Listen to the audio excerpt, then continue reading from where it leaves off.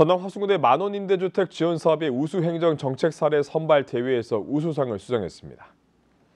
전남 화순군은 지난 10일 국회의원회관에서 열린 올해 우수행정 정책 사례 선발 대회에서 만원 임대주택 지원 사업이 청년과 신혼부부의 주거 부담을 완화하고 새로운 주거 모델을 제시한 점이 높은 평가를 받아서 우수상을 받았다고 밝혔습니다.